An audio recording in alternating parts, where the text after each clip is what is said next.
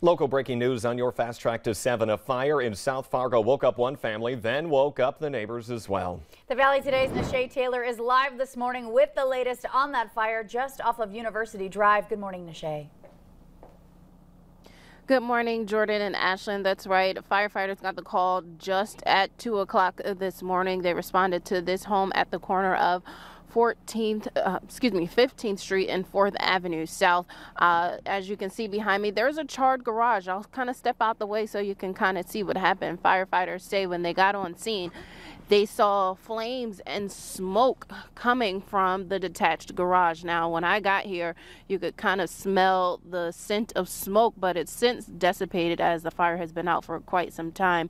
But, you know, you can see the door there is completely charred and the roof is charred. There's also ice coming off of the side of the garage as you know the water was basically uh, submerged onto the garage to put this fire out. Firefighters say there were no injuries.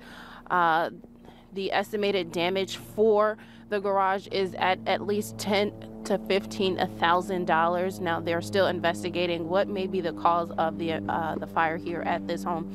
Uh, we'll have much more details as that information becomes available. Reporting live in Fargo, Nashay Taylor, Valley News Live. All right, thank you, Nashay, and thank you for that live look at the damage this morning. Again, keep up with Valley News Live online at valleynewslive.com.